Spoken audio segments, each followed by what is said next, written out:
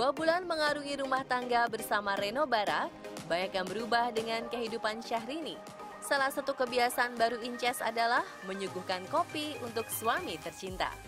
Memasuki bulan puasa sebagai Ramadan pertama mereka, Syahrini bakal punya kebiasaan baru. Meski masih dalam tahap penyesuaian, Syahrini menjalaninya dengan santai. Alhasil, ekspresi bahagia tak mampu lagi disembunyikannya saat ditemui seusai mengisi sebuah acara. Di bulan puasa ini, bulan puasa pertama dengan suami, aduh mau tahu rasanya kayak apa nanti aku share ya. Belum tahu kan kayak apa gitu. Uh, satu rumah dengan suami setiap hari juga kegiatanku berubah karena harus bangun lebih awal ya sebagai layaknya seorang istri kita kan uh, imamnya suami artinya istri mengabdi ke suami. Aku mencoba uh, yang terbaik melakukan kewajibanku sebagai istri membuatkan kopi yang tadinya nggak pernah aduh susah banget. Jadi aku tahan habis sholat subuh tahannya jangan jangan dulu tidur karena beliau kan boxing. Jadi ya kegiatannya begitu bertambah.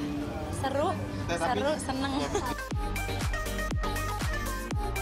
Tak seperti ketika masih single, wanita berusia 36 tahun itu kini tak lagi memikirkan diri sendiri. Syahrini mengaku lebih meluangkan waktu untuk Reno dan sangat menikmati peran barunya sebagai istri. Enggak sama sekali, nggak membatasi pekerjaan, nggak melarang, silakan aja berkarya. Tapi mungkin waktunya yang uh, tidak lagi seperti dulu kayaknya kalau dulu uh, aku bebaskan tur keluar kota ke mana berapa minggu gitu di berapa titik terus dijalanin kayak gitu sekarang mungkin prioritasnya lebih ke beliau gitu. Beliau tidak sarapan, hanya kopi, habis boxing baru makan. Ya itu aja sih kegiatannya. Tengah berbahagia dan dunia serasa milik berdua, mimpi Inces yang tertunda setelah meraih kesuksesan kini hanya satu tersisa. Hal itu adalah sosok pemimpin rumah tangga yang diharapkan bisa menjadi imam dalam hidupnya. Tujuan menikah itu kembali ke kodrat kita sebagai perempuan ya. Yang notabene perempuan itu kodratnya adalah kalau sudah punya suami artinya dia harus lebih fokus mengutamakan keluarga. Pasti yang ada di prioritas hidupku hari ini adalah keluarga yang baru dibangun dua bulan. dari betul-betul baru melangkah. Jadi mudah-mudahan ini ke depannya didoakan. Semoga uh, apa namanya ada dalam keberkahan Allah dijaga terus sama Allah gitu ya. Ya mudah-mudahan niat baik kami berdua menikah kan ingin ibadah sama Allah supaya lengkap ibadahnya. Kemarin ibadahnya sendiri sekarang lengkap. Ada suami ada yang imamin. Itu kan cita-cita aku pengen ada yang imamin sholat Syahrini dan Reno sepertinya tengah tenggelam di lautan asmara.